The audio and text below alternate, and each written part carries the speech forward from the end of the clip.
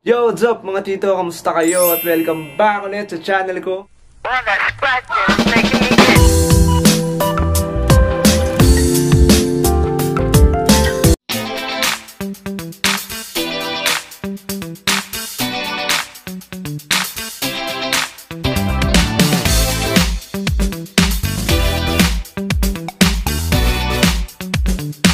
So yun mga tito, para makaganti ako sa walang sawang suporta nyo, shoutout ulit tayo. Yun, walang kamatayang shoutout to. Shoutout kay uh, Stifler Colacion, AVM Aquarium Center, Form and Pinage, Palawan, Beten, Gapi, Habis. From Palawan to. Tapos kay Kurt Encino, Marco Del Lara, John Michael De La Rosa, Regina Anthony, Mamulang, Hope Vincent, LJ Sia, Aaron Vlogs, Manong Quiz Beta, ah, from Bacor. Tapos kay Loki Boy, fish keeping yon. Pag gusto nyo order ng mga malulupitang flower horn yan, search nyo lang sa Facebook, Loki Boy. Loki Boy. Tapos Paulo Ramos, Nino Cudia, Chris Mark Argos, EJ Ocasla, Tito Lant, Kyle De La Cruz, Marco De Lera, Dave Daog, Ralph Beta, Kurt Fishkeeper, tapos kay Gapi Fish, ah, lagi nilang pagiging first mag-comment. Special shoutout sa kautit natin si John Kyle. Wash out sa'yo. Tapos yun, itong video na to, gagawin natin to dahil na-request to ng isa sa mga kaotits natin na gumawa daw ako ng DIY air pump. Yun, hindi ko na mahanap yung comment niya kaya hindi ko na ma-pop dito. Pero yun, gagawin natin to ngayon. Pero kung naman problem pala kayo sa mga isda nyo kung mag-brown out man, meron akong ginawang video, mga tips yun na dapat natin gawin kapag nag-brown out. Sigurado mga otits, kapag napanood nyo yung video natin na yun, ah, hindi na kayo problema, hindi nyo naalalahanin yung isda nyo kapag nag-brown out. Dito, hindi ko na kayo paghihintayin pa, gawin na natin tong DIY na to. Tara, let's go! Ang mga kakailanganin natin ay dalawang bote ng 1.5 tube at ng controller. At syempre hindi mawawala ang baril ng mga fish keeper. Silicone forte. Una natin gagawin syempre sabi ni scout fish keeper para hindi mga lawang yung drill natin kuha tayo ng kahoy. Lagay natin ngayon yung takip. At bubutasan natin ng dalawa itong takip natin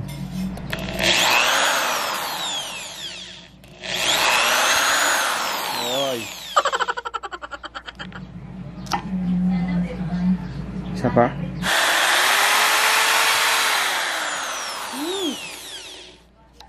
Ayan siya. So, kukuha tayo ngayon ng tube. Binutasan ko na rin pala yung isang takip. Mahalaga mga otits na masikip yung butas na ginawa natin. Hindi siya masyadong malaki, kaya ang gagawin yung technique, tutupiin nyo ngayon tong tube. Ayan, tutupiin nyo siyang ganyan. Sabay ipapasok natin ngayon sa butas. So, hayaan nyo na lang siya mag-expand. Kung mapapansin nyo, hindi magalaw yung tube natin. Masikip siya, yan o. Hindi kaagad-agad natatanggal. So, hindi muna natin to kailangan, kaya isi-set aside muna natin to. Uy, uy, teka lang, balik-balik ulit. Yan. Mga otits, ah, gumupit pala kayo ng mga 5 inches na haba ng tube. Kasi ito yung magiging entrance ng hangin natin. Tapos ito yung lalagay natin dito sa unang butas ng ating takip. Sige, balikan ulit. Para hindi tayo maguluhan mga audits, ito yung battle na number 1 natin. Ito yung battle number 2 natin. So yung battle number 1 natin, nandito yung isang maliit na ginawa natin tube kasi dito yung entrance. Ito yung entrance ng hangin natin. Tapos yung pangalawang tube, dito ko siya nilagay sa battle number 1 kailangan mga otits hanggang dito siya sa ilalim. Kasi mamaya paglalagyan natin to ng tubig itong bottle number 1 natin. Yung pangalawang tube ipapasok lang natin doon sa kabilang takip. Yan. Ang magiging purpose na ito mga otits kasi mamaya ito yung paglalagay natin ng tubig. Dito ngayon tutulo yung tubig galing dito sa bottle number 1 natin. Sa bottle number 2, dito natin napapasok yung isang tube.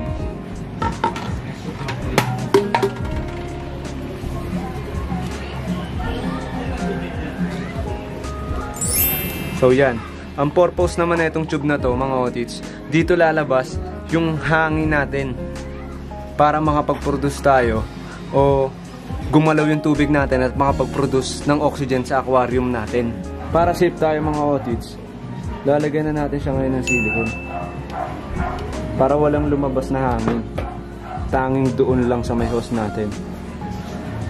Tapos kanina nilagyan ko na rin yung kabilang takip.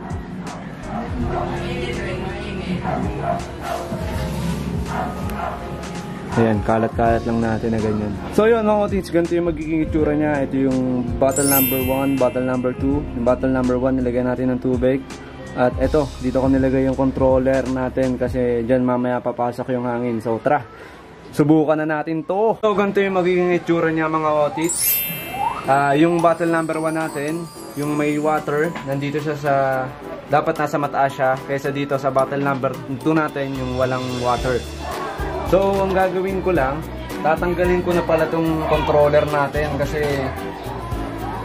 wala rin naman siyang ano eh, wala parang wala rin naman siyang gamit kasi pwede mo palang tupiin na lang. Tupiin na lang natin ng ganito tong tube na to. So, pag pinisil ko ngayon niya, pupunta ngayon yung tubig doon sa bottle number 2 natin. Sa baby bit, i-release ko ngayon tong kamay ko dito para pumasok naman yung hangin. So, ayan na. Kung makikita nyo mga otits, nagpo-produce na siya ng bubbles dito sa aquarium natin. Ayan, nagpo-produce na siya. So, kung gumagalaw ngayon yung tubig natin, nagkakaroon ngayon ng oxygen. Kasi pumapasok ngayon yung oxygen dun sa water. Sa isang banda mga otits, tinatimeran ko na dito. Ayan, tinatimeran ko na siya.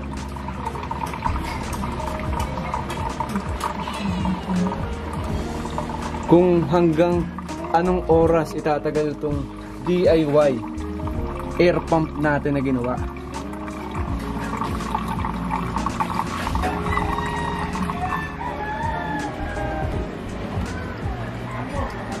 Ang inabot na oras ng DIY ah, air pump natin uh, magsi 6 minutes lang. Ayan. 6 minutes lang. Tapos tapos tumigil na rin siya. Ayan o. Sa ganito ka konting tumi sa ganito ka konting tubig. Tumigil na rin yung ano natin, yung air pump natin. So yun, 6 minutes nga lang yung inabot ng DIY air pump natin. Siguro mas maganda kung ano mga audits, mga kung kung mas malaki.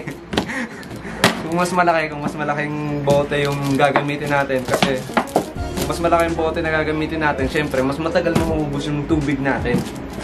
Saka, yun nga, uh, huwag kayong mag-alala kasi may dissolved oxygen naman dito sa aquarium natin kung sakali mang mag-brown out. Tatagal pa rin ng isang araw yan. Mga isda nyo, depende pa rin sa bioload nito ng, ng aquarium natin. Kunyari, kung itong aquarium natin na to, yan, wala siyang plants, walang kung ano man, walang aerator. Pero kung marami namang isda, mga 50 isda, sigurado ubus agad yung dissolved oxygen dito sa aquarium. Pero mga otits, kung ganito kaliit na aquarium, tas walang aerator, walang plants, kung dalawa o isang isda lang, sigurado kahit tatlong araw yung walang aerator, ox yung mga gapi nyo dyan.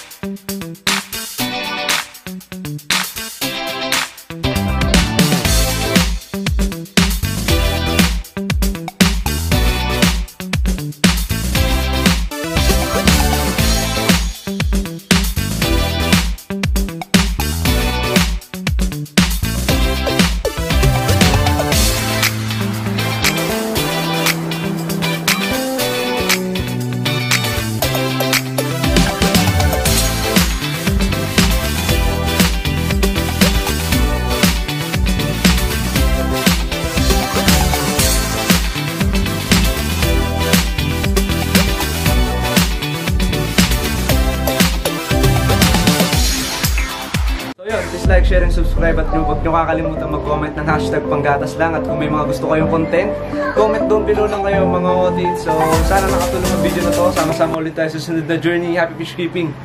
Fish.